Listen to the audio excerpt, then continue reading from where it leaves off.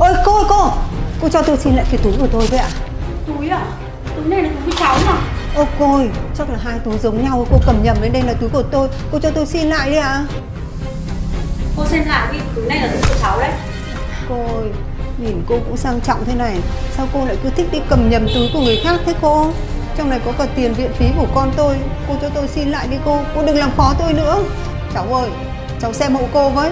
Sáng nay cô đeo cái túi này vào đây mà. Cháu cũng biết mà ờ, chị ơi hình như túi này là túi của cô đấy thật đấy ạ. Tại vì bình thường ờ, em có thấy chị xách cái túi này bao giờ đâu ạ?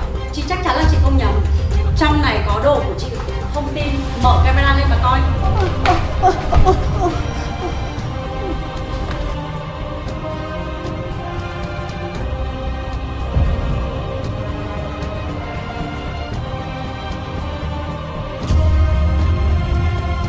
Chị ơi chị cầm nhầm thật rồi đấy ạ không em tua lại lúc 9 giờ sáng tại quầy thu ngân cho chị đi.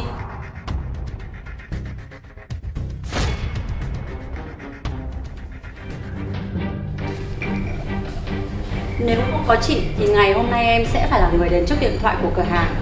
Cho nên lần sau chú ý giữ gìn tài sản của công ty em biết chưa? cháu ơi chắc là cô già rồi cô lẩm cẩm chắc cô nhầm lẫn đấy cho cô cô cô xin phép cô đi trước nhá.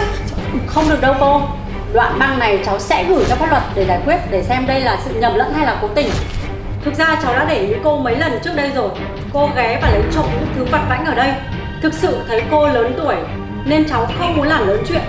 Tuy nhiên, cô được nước làm tới, Vẫn cố tình lấy những thứ giá trị lớn hơn. Vậy thì cháu đành phải đưa cô ra ánh sáng để xử lý ạ.